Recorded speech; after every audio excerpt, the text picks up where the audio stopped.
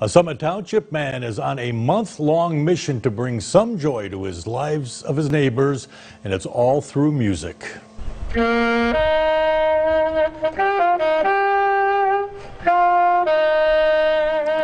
Yes, that is retired music teacher David Hetrick says it started Memorial Day weekend when a neighbor complained that most of the summer music concerts have been canceled and maybe Dave should play in his driveway. He said that's a great idea.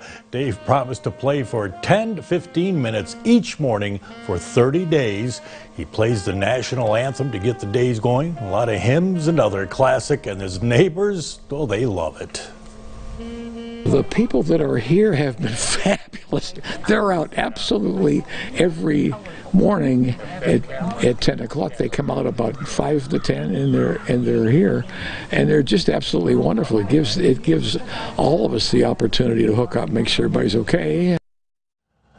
Well, Dave promised to do 30 days of concerts. This morning is day 32, and he's showing no signs of stopping. Play on, Dave.